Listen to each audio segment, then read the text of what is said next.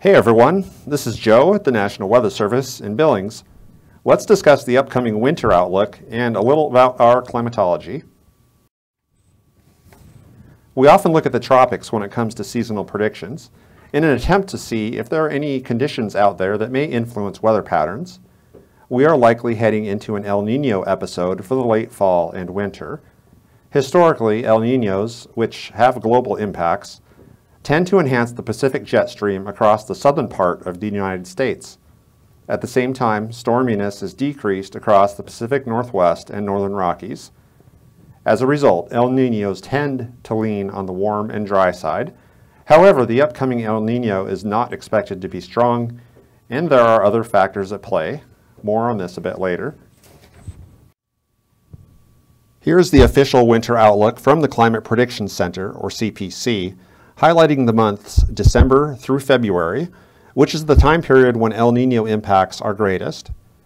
There's an increased likelihood of warmer and drier conditions in our region, but remember these are probabilities and they highlight potential departures from normal over the entire season. Take a look at the pie charts.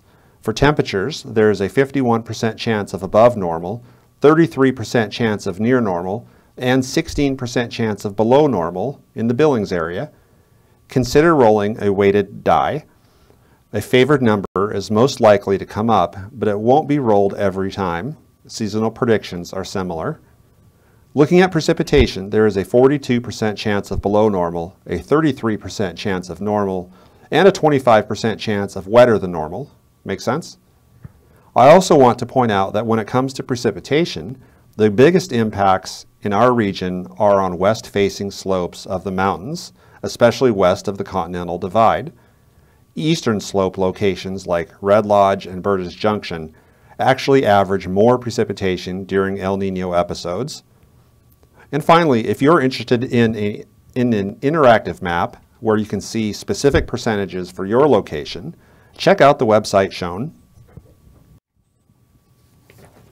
And now a few important reminders.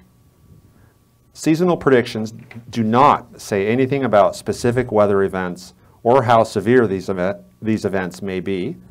A warm and dry winter will still have periods of winter storminess. Also, our climatology in the northern high plains is built on extreme weather. It is normal to have rapid weather changes during the course of the winter. And finally, although CPC has focused on El Nino for the upcoming winter predictions, there are other pieces to this puzzle. Polar sea ice, ocean temperatures, snow cover, wind are just a few other factors that play a role. For fun, I wanted to show the state of polar sea ice. This is a recent sea ice analysis. The white area shows ice coverage as of October 15, while the orange line shows where it should normally be this time of year, you can see there is a lot of open water on the north coasts of Alaska and Russia. Less ice and a warmer ocean mean more moisture availability in the atmosphere, which can mean greater precipitation potential with any weather systems dropping through Canada. We have seen an overall decrease in sea ice over the past couple of decades.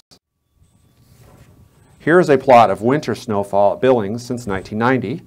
The blue line represents December through February snowfall and the brown line is the trend over the 28-year period.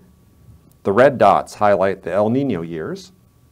There is a definite upward trend in winter snowfall since 1990, regardless of El Nino, and I believe this is due to the greater atmospheric moisture availability during the midwinter months. Most years are above the 30-year normal of 22.8 inches, some significantly above. Let's look at the outlook again. Although El Nino is the driver behind the overall hedge towards warm and dry in our region, I believe there will be opportunities for upslope snowfall and cold weather with fronts out of Canada. If this can build up a solid snow cover during the midwinter, and this is something we've seen in some of the past few winters, then there could be extended periods of below normal temperatures.